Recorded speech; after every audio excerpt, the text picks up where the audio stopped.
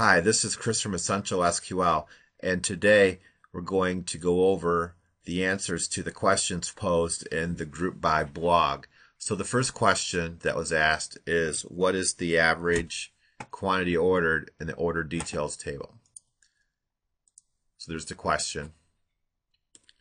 And the answer is simply to use an aggregate function across the whole table to achieve the desired uh, answer. So we're doing select average of the quantity from order details. So the average quantity is 62.55. All right. So the next question is display the min, max, and average quantity ordered for each product and order details. So when I see for each product and order details, that's a hint for me that I need to use group by.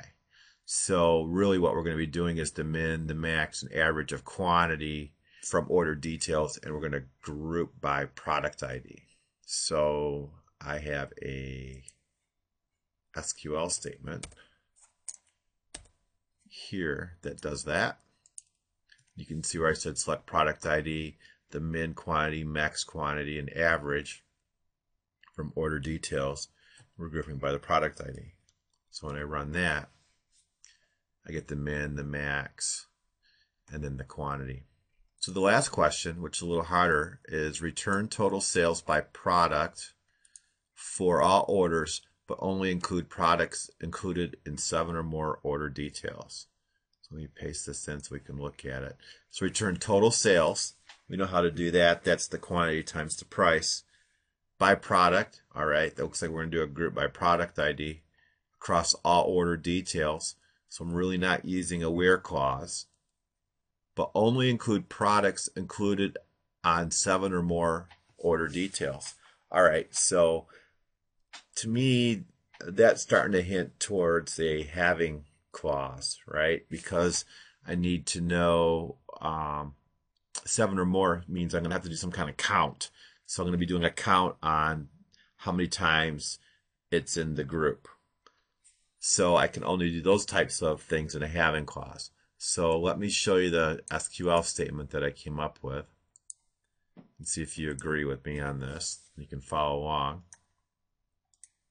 You can see I got select product ID and here's the total sales, the unit price times quantity from order details.